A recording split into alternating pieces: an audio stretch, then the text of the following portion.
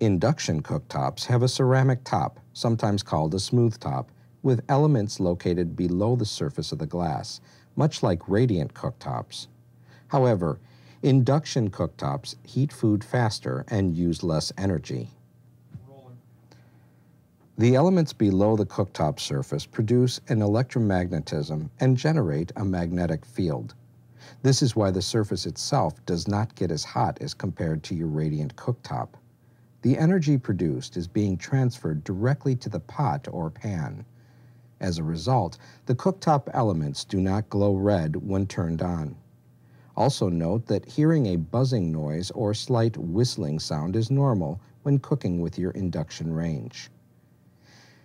Please be careful when using your induction cooktop. The cooktop may appear to be cool when turned on and after turning off. However, the surface may be hot from the residual heat transferred by the cookware.